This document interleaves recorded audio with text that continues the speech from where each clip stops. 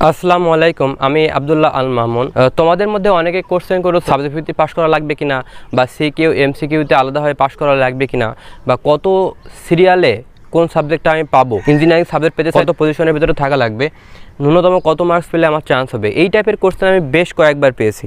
তো ভাবলাম এইটার উপরে একটা ভিডিও বানাই এবং টোটাল বিষয়টা তোমাদের ক্লিয়ার করে দিই।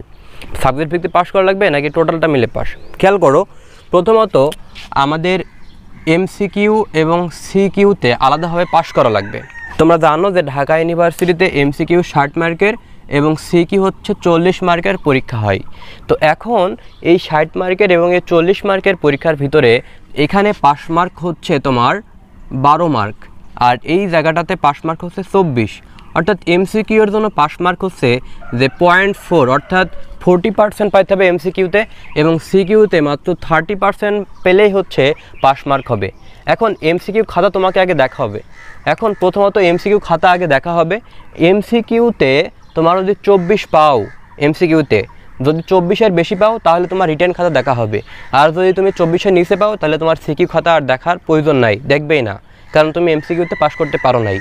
ঠিক আছে, তো আলাদা আলাদা হয়ে পাস করতে হবে। এখন কথা হচ্ছে এমসিকিউর ভিতরে তোমাদের চারটা সাবজেক্ট থাকবে, সেটা হচ্ছে ফিজিক্স কেমিস্ট্রি ম্যাথ বায়োলজি এখন এই চারটা সাবজেক্ট মিলে কি আমার চব্বিশ পেতে হবে? নাকি প্রত্যেকটা সাবজেক্ট আমার ছয় করে পেতে হবে মিনিমাম ঠিক আছে, এটা হচ্ছে পাস মার্ক প্রত্যেকটা সাবজেক্টে পাস মার্ক তাহলে ছয় করে আসতেছে। তো আমার কি প্রত্যেকটা সাবজেক্টকে আমার ছয় করে পেতে হবে মিনিমাম নাকি টোটালটা মিলে আমাদের চব্বিশ পেতে হবে? ওই বিষয়টা ক্লিয়ার করি একটু। প্রথমত বলছি যে সাবজেক্ট ভিত্তিক পাস করা লাগবে না। ধরো তুমি ফিজিক্সে জিরো পেয়েছ ফিজিক্সে তুমি এমসিকিউতে জিরো পেয়েছ জিরো ফিজিক্সে তুমি মার্কই পাও নাই। তাহলে কেমিস্ট্রিতে তুমি অত তাহলে কেমিস্ট্রি তোমার কত পাওয়া লাগবে? বারো। যদি বারো পাও, তাহলে কিন্তু পাস মার্ক হয়ে গেছে। অর্থাৎ একটা সাবজেক্ট তুমি কিছু নাও পারো টোটালটা মিলে যদি পাস করো, তাও অসুবিধা নেই। সিমিলার ওয়েতে সিকিউ তো একই রকম। ধরো বায়োলজি তুমি জিরো পেয়েছ, কিন্তু ফিজিক্স কেমিস্ট্রি ম্যাথে বারোর উপরে পেয়েছ, তাহলে তোমার পাস মার্ক আছে, অসুবিধা হবে না। কিন্তু একটা জিনিস খেয়াল করতে হবে যে তিনটা সাবজেক্ট বা এই চারটা সাবজেক্ট মিলে যেন তোমার অ্যাটলিস্ট বারো আসে অ্যাটলিস্ট চব্বিশ আসে, না হলে কিন্তু তোমার খাতায় দেখা হবে না। তোমার রেজাল্ট আসবে না। বুঝতে পারছ বিষয়টা? সো এটা একটু ক্লিয়ার করলাম যে সাবজেক্ট ভিত্তিক পাস নাকি টোটালটা মিলে আসলে পাস করতে হবে। আই থিঙ্ক এখন বোঝাতে পেরেছি। এবার আসি যে কত সিরিয়ালে কোন সাবজেক্ট পাবো? কত সিরিয়ালে কোন সাবজেক্ট পাবো? দেখো, এটা আসলে বলা মুশকিল। প্রতি বছর আসলে এটা ডিপেন্ড করে। জেনারেলি মেডিকেল পরীক্ষা যদি আগে হয়, তাহলে সবাই পরীক্ষা দেয়। আর সবাই যদি পরীক্ষা দেয়, তাহলে কি হয়? দেখা যাচ্ছে অনেক স্টুডেন্ট চান্স পাই অনেক স্টুডেন্ট চান্স পেলে ওদের ভিতরে অনেকে মেডিকেলে চান্স পাই মেডিকেলে চান্স পেলে তখন সিটটা ফাঁকা হয়ে যায়। অনেকে বুয়েটে চলে যায়। তখন ঢাকা ইউনিভার্সিটি অনেক অনেক টানে। অর্থাৎ মেডিকেল পরীক্ষা যদি আগে হয়, তাহলে সাত হাজার পর্যন্ত টানতে পারে। ছয় হাজার, সাত হাজার পর্যন্ত টানতে পারে। কিন্তু যদি মেডিকেল পরীক্ষা আগে হয়ে যায়, তাহলে যারা মেডিকেল প্রিপারেশনে চান্স পেয়ে গেছে, এদের মধ্যে কিন্তু অনেকেই ঢাকা ইউনিভার্সিটি পরীক্ষা দেবে না। ঠিক আছে? কিন্তু যদি আগে হতো তাহলে কিন্তু ওরা চান্স পেতো এবং ওরা চলে গেলে সিট ফাঁকা হয়ে যেত। কিন্তু এখন যেহেতু তারা মেডিকেলে চান্স পেয়ে গেছে, তারা কিন্তু ওই প্রয়োজন মনে করবে না, আমার ঢাকা ইউনিভার্সিটি পরীক্ষা দিতে হবে বা ওদের ওদের কিন্তু ওই পরিমাণ চাপ নাই। হয়তো কিছু সংখ্যক স্টুডেন্ট আছে যারা দেখাতে চাইবে আমার তিন জায়গায় চান্স পাইতে হবে, তারা হয়তো প্রিপারেশন নিচ্ছে। তারা হয়তো ঢাকা ইউনিভার্সিটি পড়তে পারে, নাও পড়তে পারে, এরকম। তো এই এরকম স্টুডেন্টের সংখ্যা কিন্তু খুবই কম। যার কারণে আশা করা যায় এই বছর ঢাকা ইউনিভার্সিটিতে তোমার সিরিয়াল পাঁচ হাজার থেকে সিরিয়াল পাঁচ হাজার থেকে পঞ্চান্নশোর ভিতরে থাকা লাগবে। না হলে হয়তো চান্স পাওয়ার সম্ভাবনা কমে যাবে। এখন যেটা বলব, সেটা হচ্ছে যে কত সিরিয়ালে কোন সাবজেক্ট আমরা পাবো? কত সিরিয়ালে কোন সাবজেক্ট পাবো? দেখো, এটা আসলে ডিপেন্ড করে। ব্যাচ ওয়াইজ ডিপেন্ড করে। কারণ প্রতি বছর আসলে সাবজেক্ট ওয়াইজের ব্যাপারটা একরকম হয় না।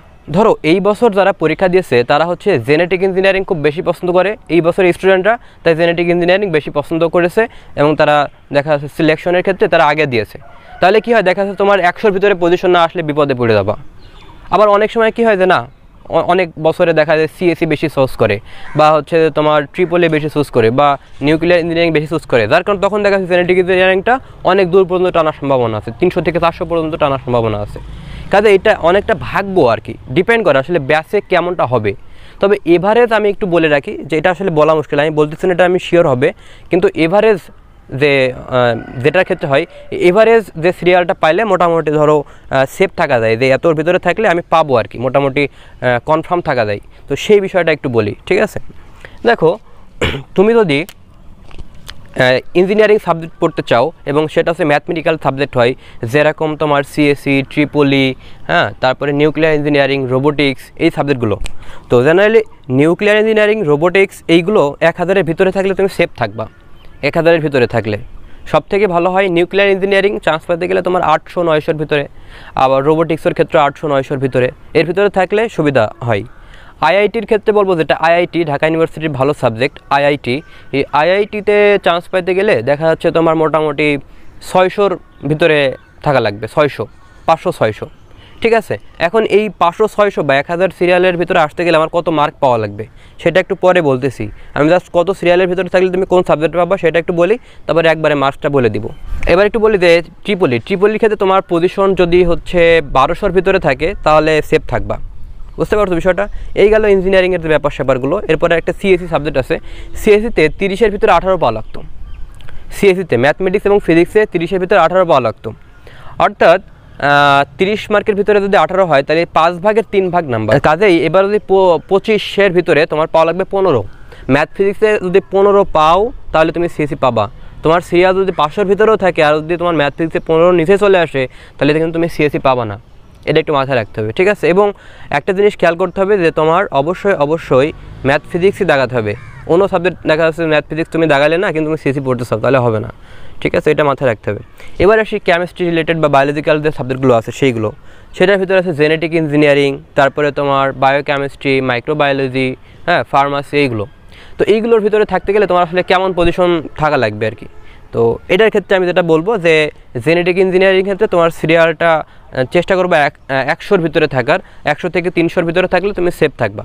এটা আবার ডিপেন্ড করে আর কি। প্রতি বছর ডিপেন্ড করে, তবে একশো থেকে তিনশোর ভিতরে থাকার চেষ্টা করবা। এরপর যদি বলি ফার্মাসি ফার্মাসির ক্ষেত্রে তুমি ছয়শোর ভিতরে থাকার চেষ্টা করো, ছয়শো থেকে সাতশো, ঠিক আছে? এরপরে যদি তোমার বলি যে মাইক্রোবায়োলজি মাইক্রোবায়োলজির ক্ষেত্রে তুমি দেখা যাচ্ছে সতেরোশো, সতেরোশোর ভিতরে থাকার চেষ্টা করো। অ্যাপ্লাইড কেমিস্ট্রিতে তুমি চোদ্দোশো, পনেরোশোর ভিতরে থাকার চেষ্টা করো, ঠিক আছে? তারপরে তোমার যদি বলি বায়োকেমিস্ট্রি বায়োকেমিস্ট্রি দু হাজার ভিতরে থাকার চেষ্টা করো, ঠিক আছে? অ্যাপ্লাইড ম্যাথের ক্ষেত্রে তুমি অ্যাপ্লাইড ম্যাথের ক্ষেত্রে তুমি তেইশশো, বাইশশোর ভিতরে থাকার চেষ্টা করো। ম্যাথমেটিক্সের ক্ষেত্রে তুমি পঁচিশশো থেকে তিন হাজারের ভিতরে চেষ্টা করো। ম্যাথমেটিক্স ফিজিক্স এইগুলো আর কি হ্যাঁ? যদি ভাগ্য ভালো থাকে তাহলে তিন হাজারের বেশি টানতে পারে। আর যেহেতু মেডিকেল পরীক্ষা আগে হয়ে গেছে, তো অবশ্যই চেষ্টা করবা পঁচিশের ভিতরে থাকলে সেফ থাকবে আর কি, পঁচিশশো থেকে তিন হাজারের ভিতরে থাকলে ওকে এই আছে বিষয় আশাই যে কোন সাবজেক্টে কত পাইলে এরকম তুমি পাবা আর কি। এরপরে বাকিগুলো আছে, অন্যান্য সাবজেক্টগুলো আছে। এখন এখন কত সিরিয়ালে এই সিরিয়াল হলে আমরা এই সাবজেক্টটা পাবো। এখন কত মার্কসটা পাওয়া লাগবে? একটু বলে রাখি যে, ঢাকা ইউনিভার্সিটিতে তুমি যদি সেভেন্টি টু থেকে সেভেন্টি ফাইভের ভিতরে পাও, তাহলে মোটামুটি তুমি জেনেটিক্স বা ফার্মাসির মতো সাবজেক্ট পাওয়ার, পেয়ে যাবে আর কি নিঃসন্দেহে, এটা বলা যায়। একশোর ভিতরে জিপিএ বাদে জিপিএ বাদে জিপিএ ধরো তোমার ফুলফিল আছে, আমি ধরে নিচ্ছি। তাহলে সত্তর থেকে পঁচাত্তর বা বাহাত্তর থেকে পঁচাত্তর ভিতরে থাকলে হবে। এখন যদি কোনো ক্রমে তোমার ডিপিএ কমে যায়, তাহলে কিন্তু তোমার এইদিকে বেশি পাওয়া লাগবে। অর্থাৎ পঁচাত্তরের জায়গায় সাতাত্তর পাওয়া লাগবে, এরকম আর কি। বুঝতে পারছ? তো এই গেল। এবার যদি বলি আমি তোমার ফার্মাসি জেনেটিক্স গেল। এবার যদি তোমার বলি নিউক্লিয়ার ইঞ্জিনিয়ারিং বা রোবোটিক্স এইগুলোর ক্ষেত্রে মানে বাকি যে ভালোগুলো ইঞ্জিনিয়ারিং সাবজেক্টগুলো আছে, তোমার সেভেন্টি প্লাস রাখার চেষ্টা করো সেভেন্টি প্লাস বুঝতে পারছ বিষয়টা? আর ধরো তোমার ইচ্ছা বায়োকেমিস্ট্রি তারপরে হচ্ছে তোমার মাইক্রোবায়োলজি ঠিক আছে? এই ক্ষেত্রে তোমার সিক্সটি সেভেন প্লাস রাখার চেষ্টা করো। তারপরে যদি তোমার ইচ্ছা হয় অ্যাপ্লাইড ম্যাথ আর কেমিস্ট্রি ফিজিক্স ঠিক আছে? সিক্সটি প্লাস মার্কস পাওয়ার চেষ্টা করো সিক্সটি প্লাস বুঝতে পারছ বিষয়টা? তবে যদি কোর্সেন সহজ হয়, তাহলে আরও বেশি মার্কস পাওয়া লাগবে। আর যদি কোর্সেন টাফ হয়, তাহলে এর থেকে কম মার্কেও তুমি চান্স পেতে পারো। আমি যেটা বলছি সেটা এভারেজ নাম্বার ওকে আর যেটা হয়, সেটা তুমি পঞ্চান্ন প্লাস পাইলে মোটামুটি যে কোনো দেখা যাচ্ছে সাবজেক্ট তুমি পাবা। একটা সাবজেক্ট তুমি পাবা, এটা কোন সাবজেক্ট পাবা মোটামুটি, বাকি অনেকগুলো সাবজেক্ট আছে। ওকে আর এখন কথা হচ্ছে যে, ন্যূনতম কত মার্কস পেলে তুমি চান্স পাবা? উইদাউট জিপিএ হিসেব করতেছি আমি উইদাউট জিপিএ উইদাউট জিপিএ একশোর ভিতরে তুমি যদি ফিফটি টু থেকে ফিফটি ফাইভ পার্সেন্ট নাম্বার পাও, তাহলে মোটামুটি চান্স পাবো আর কি। যে কোনো একটা সাবজেক্ট তোমার আসতে পারে। বুঝতে পারছ? ন্যূনতম বাউন্ন থেকে পঞ্চান্ন মার্ক একশোর ভিতরে। তো আমি বোঝাতে পারলাম যে আসলে ন্যূনতম কত মার্কস পাইলে চান্স হবে, কত সিরিয়াল পর্যন্ত এবার টানতে পারে এবং কোন কোন সিরিয়াল হলে, কত নাম্বার সিরিয়াল হলে, কোন সাবজেক্টে তুমি পাইতে পারো বা কত মার্কস তোমার পাওয়া লাগবে। আর সাবজেক্ট ভিত্তিক পাশের ব্যাপারটা ক্লিয়ার করলাম। তো এরপরে আমার মনে হয় না, এর পরবর্তী তার তোমাদের ভিতরে কোনো কোশ্চেন আসে এরপরও যদি তোমাদের ভিতরে কোনো কোশ্চেন থাকে, অবশ্যই অবশ্যই কমেন্ট বক্সে জানিয়ে দাও। আমার ভিডিওটা কেমন লাগল সেটাও কমেন্ট বক্সে জানিয়ে দাও। আর এরপরে তোমরা কোন টাইপের ভিডিও চাও সে সম্পর্কেও তোমরা কমেন্ট বক্সে জানিয়ে দাও। আজকের এই ভিডিওটা আমি এখানে শেষ করতেছি। আজকের ভিডিও সম্পর্কে যদি তোমার কোনো কোশ্চেন বা মতামত থাকে, অবশ্যই জানাও। আর নেক্সট ভিডিও পাওয়া পর্যন্ত অপেক্ষা করো। সে পর্যন্ত সবাই ভালো থাকো। ধন্যবাদ সবাইকে।